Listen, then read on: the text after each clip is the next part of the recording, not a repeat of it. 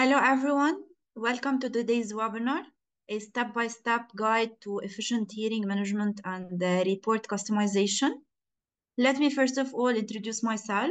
So I'm Elise Khoure, the training manager here at LEXZUR. Thank you for taking time out and being here today. We'll be running a live Q&A at the end of the webinar, so uh, you can ask all your questions. And if you miss anything, don't worry, we'll be sending around the on-demand recording when it's available. Let me share my screen first. So in this webinar, we will provide a comprehensive step-by-step -step guide to streamline hearing management process and enhance your skills in report customization. So basically, uh, it aims to empower participants with the knowledge and tools needed for seamless workflow and tailored reporting. So uh, in the webinar, we will cover the management of the hearing, how you can uh, add a new hearing.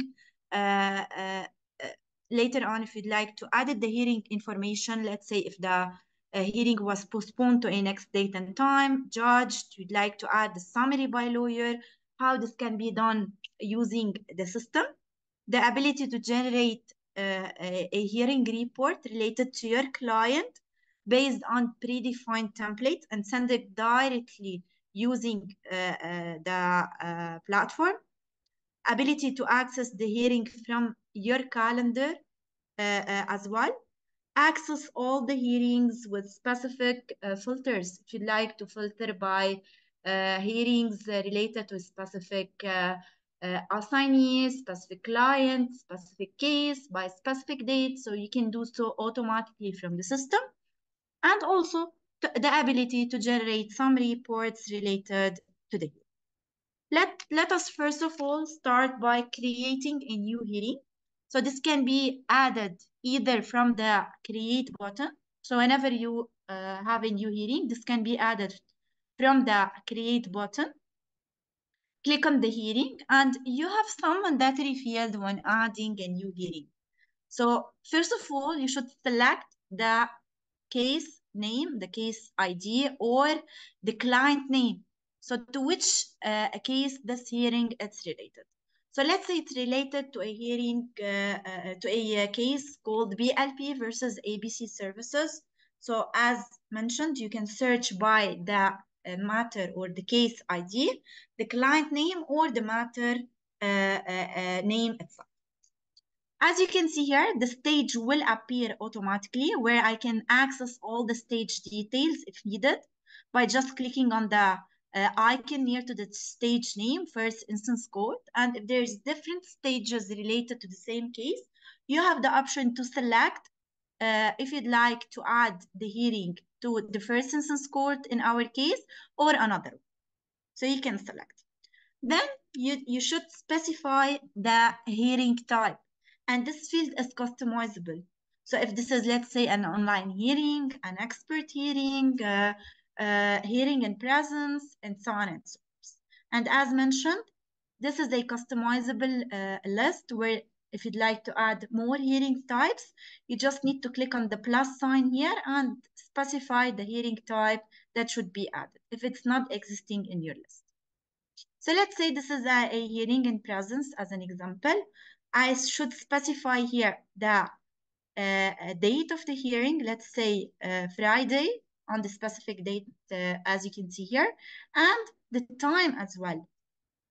So I can specify the time and I can assign the hearing to a specific assignee user.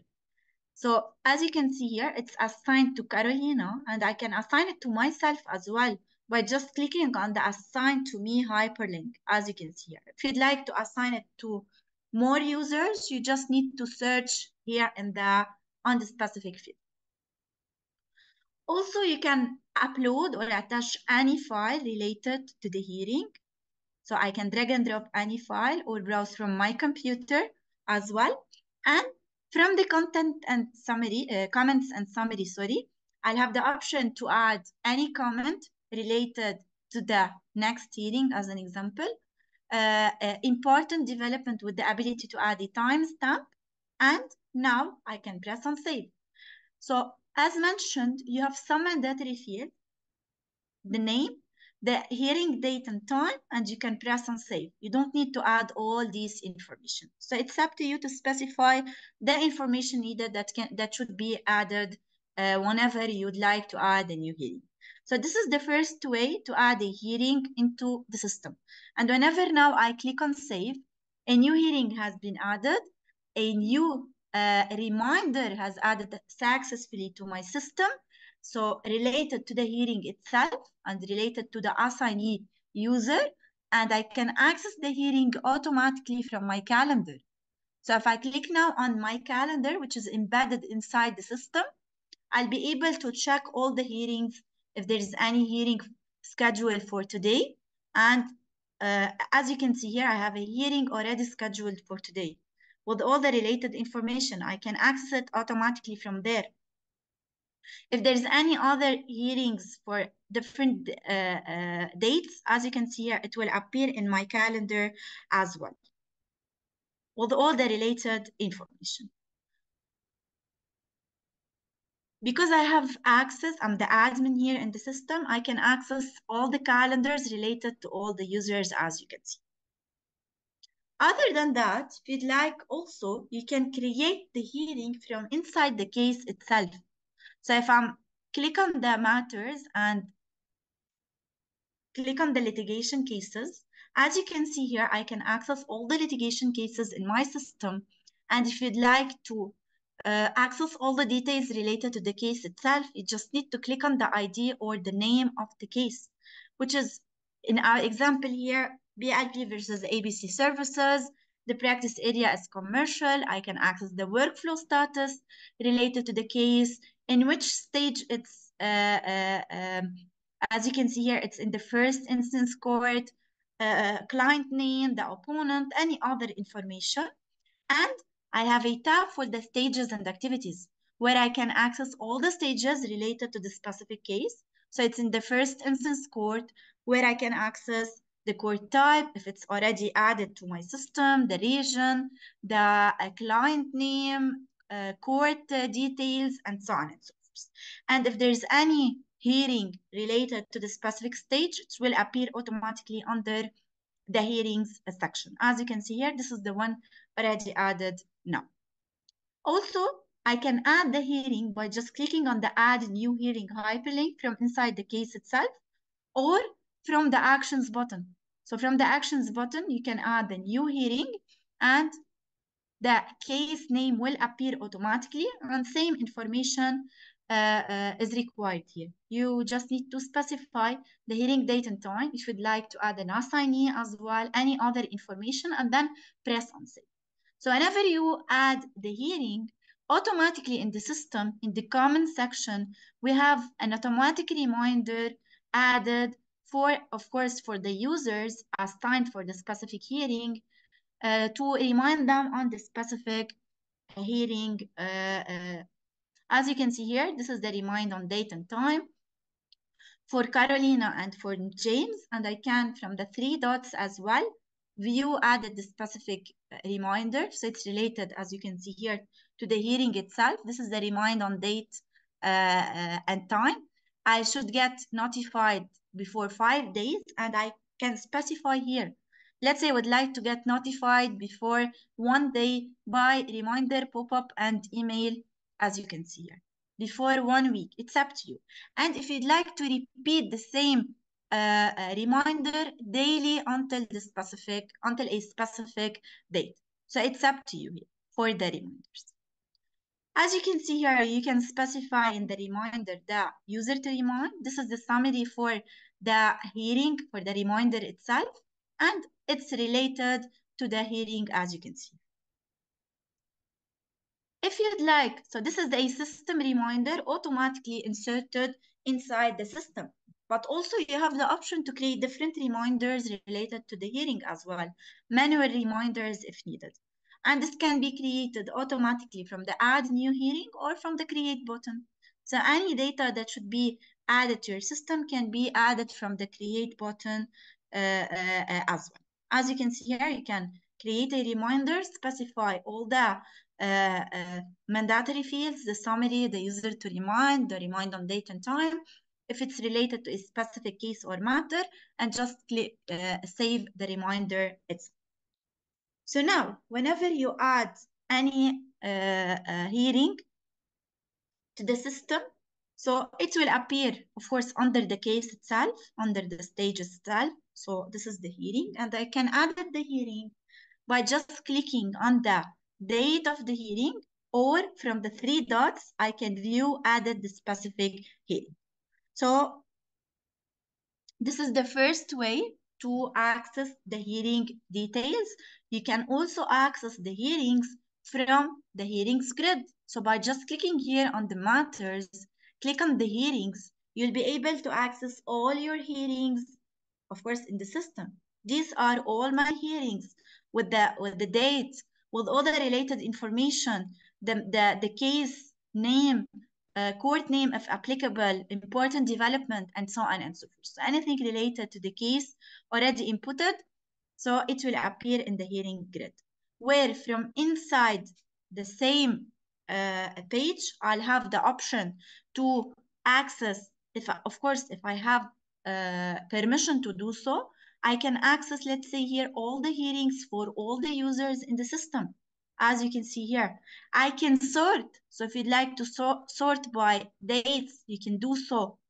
So this is the first hearing for Friday, which is related to BLP versus ABC services. You have the option as well to filter by specific hearing date, by type. So if you'd like, let's say, to access only the hearings, uh, uh, uh, expert hearing as an example, or the online hearing, and so on and so forth. Filter by specific assignee user. Let's say would like to access all the hearings related only to Carolina as an example. So I can apply this filter. As you can see here, these are all the filters, uh, all the hearings related to the assignee, which is in our case, Carolina. I can as well uh, um, specify uh, um, from the columns here which column me as a user wants to appear on my grid. So if it's not important for you, for you to have or to uh, um, to include the external court reference number as an example. So you can choose the columns that should appear on your grid. Let's say you would like to uh, remove the uh, summary by lawyer as an example, or I would like to add the client name or the related matter, and so on and so forth. So you can include the columns that should appear on your grid. Also from the same page, if you'd like, uh, um, you already um, go to the, you, you have a hearing uh, related to you and you'd like to update its information. So if it's the judged, if it's postponed until a next date and time, if you'd like to uh, uh, input the summary by lawyer, so this can be done automatically from the same page as well. So by just clicking here on the hearing date or on the three dots, as you can see here, added, I'll be redirected to the added hearing page where I have some additional fields here. I can, if it's judged, as you can see here, I can click on the show more and specify the stage status. So let's say it's judged or it's under decision, the judgment date, as you can see here, and the value of applicable and the judgment itself. If it's judged, so as mentioned before, you just need to click on the show more near to the judged uh, question. If it's postponed to a next date and time, you can from the postponed date, as you can see here, specify the postponed date and time, as you can see here. Let's say this is the due date and time. And if you'd like to add a new hearing with the postponed date and time, and to include the reasons of postponement. So this can be included as well and on the specific field. You have as well in the comments and summary a field for the comments, if you'd like to include your comments. If you'd like to add the summary by lawyer, so you have a field for the summary by lawyer where you have you also have a field for the summary to the client that should be sent to your client. So you can include the summary by lawyer. So all the summary, of course, and then copy from the summary by lawyer inside the summary to client if needed.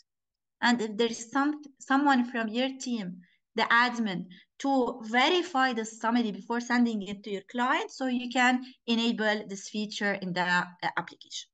As you can see, also you can access the important development with the ability to add a timestamp every time you have an important development related to the specific hearing. So now I added the postpone until uh, date and time. If you'd like to add the reasons of postponement, any update, and then, whenever I click on save, a new hearing will be added, a new reminder uh, related to the postpone until uh, hearing, to the new hearing, of course, uh, in the system. And it will appear under the case itself as well. Also, I can, from the three dots, as you can see here, I can view the hearing in the calendar. I can clone the same hearing. So if you'd like to clone the same details, you can do so. You can also export to Word if you'd like to generate a report related to the specific hearing. You can export to Word and this is the report related to the specific hearing, as you can see here, including the case details, the matter name, the, the client uh, position, the uh, opponent position, anything already inputted in your system, it will appear inside the report itself. With the hearing data as well, the, the, the type, date, uh, time, uh, assignee, and so on. Other than that, you have the option also from the three dots to, to set a judgment for the specific hearing. So it will redirect you automatically to the set judgment page where you can include the judgment date, the value if applicable, and the judgment uh, itself. From the same page also, I can I have a field here called summary by lawyer. Instead of clicking on the edit and then um, or opening the, uh, the, the case itself or clicking on the three dots and then click on edit, I can automatically from there click on the icon and enter the summary by lawyer automatically from there. So this is related to the hearing grid where you can filter by specific uh, uh uh, uh, filters if needed and all uh, whenever you filter let's say by specific assignee by specific date and so on and so forth you can later on export the list to excel if needed. And if you'd like to add a hearing this can be as well added from the add hearing button available also uh, on the hearing grid. Other than that from the same case if you click on the case, you'll be redirected, as you can see here, to the case details, to the general information. And from the stages and activities, I have the option from inside the hearing itself. So let's see here, this hearing, uh, uh, I would like to generate a report and send it to my client automatically from the system. So this is an option already existing there, where you can, from the three dots, generate a report, of course, based on predefined templates. So you can create your own templates. I can show you from where you can create your templates and then specify the template that you'd like to use. And as you can see here, the data will be inputted automatically uh, uh, inside the template itself if it's already, of course, inserted in the system where I can add more uh, details, as you can see here, and I can download the report or send it directly to my client from the system. So whenever I click on the send the report to the client, it will redirect me automatically to the send the report to client page. The email of the client, if it's included in the, in the details of the company, or the person details, it will be automatically inserted there. I can include uh, some uh, users to uh, in the CC, as you can see here, some emails, and I can add the message. Let's say, dear Jim, attached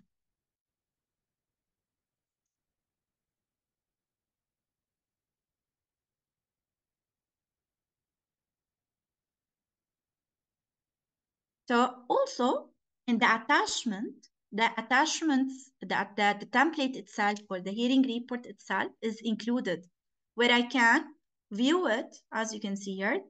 This is the, the template created in my instance and the data is automatically added. And I can now send the report directly to my client. Automatically in the system, if, if the report is uh, sent to the client, as you can see here, in the icon, it will appear that this hearing was sent to the client one time, automatically in the system. So for the templates, if you'd like to create some templates in your system, you can do so from the, uh, by just clicking here on the more from the iDocs module. So if I click now on the iDocs, I'll be redirected to a page where I can store all the documents related to my organization. So you can include all, let's say, contract templates, any uh, uh, document related to your organization, which is not related to a specific case or matter or content.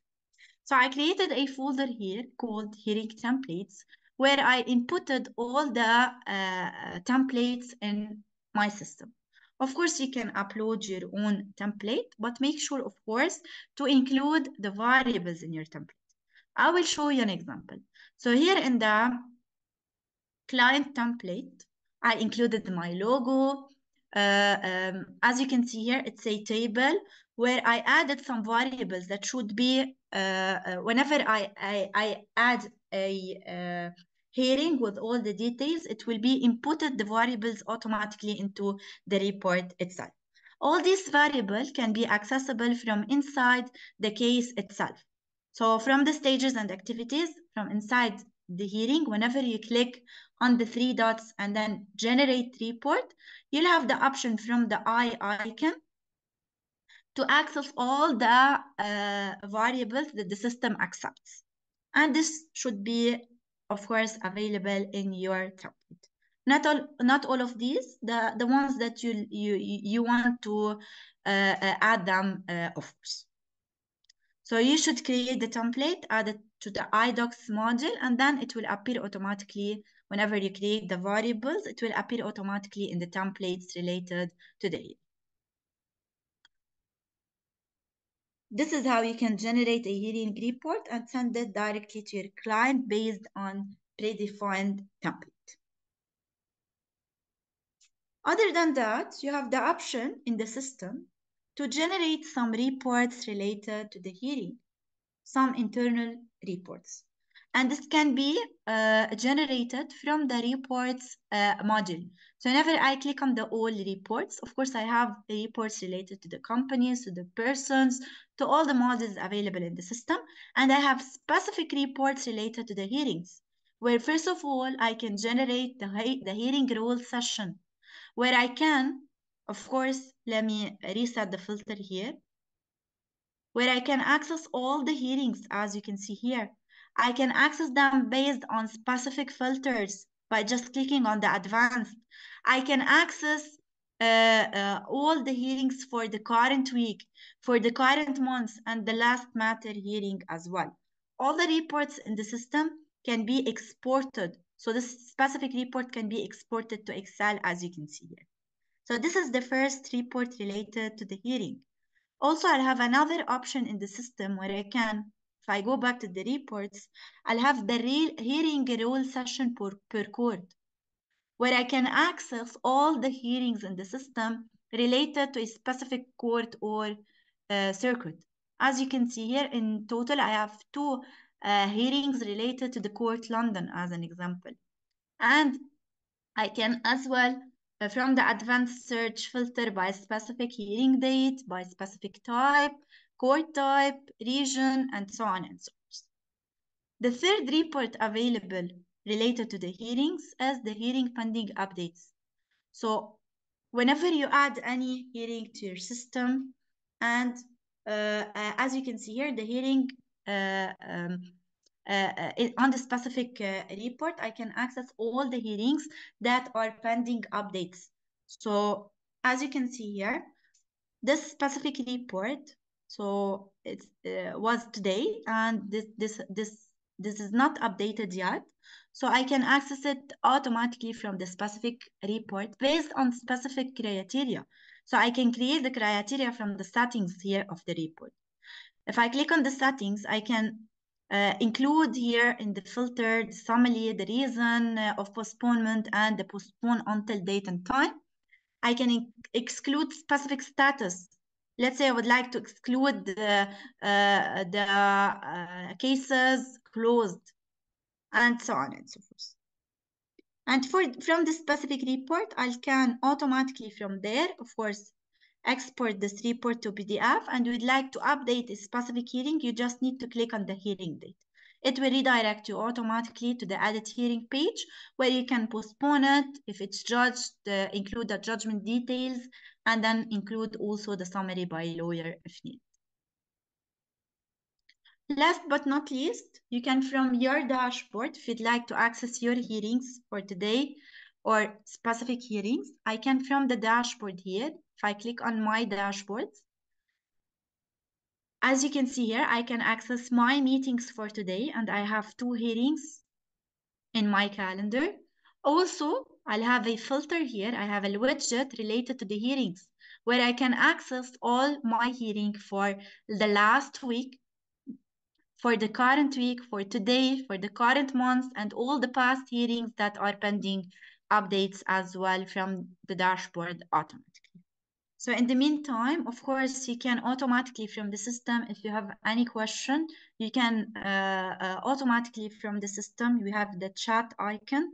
You can uh, uh open a live chat with one of our agents. So our support team is always available to support you. Also, we have uh, some learning materials, so you can visit our uh, knowledge base and our YouTube channel, and this can be accessible automatically by just clicking here on the links, the knowledge base or the YouTube channels, automatically from the chat icon. Also, you have the option automatically from the system to click on the uh, icon here if you'd like to raise a support ticket. Let's say you have a question or you have uh, uh, an improvement that you'd like to suggest to our team uh, or you would like to report a bug. So this can be raised automatically from the system uh, if needed. I think that we don't have any uh, question for today's webinar. Again, I want to thank you all for taking time out uh, for, of your busy schedule to be here today in our webinar. Thank you for your time and see you in the next webinars as well.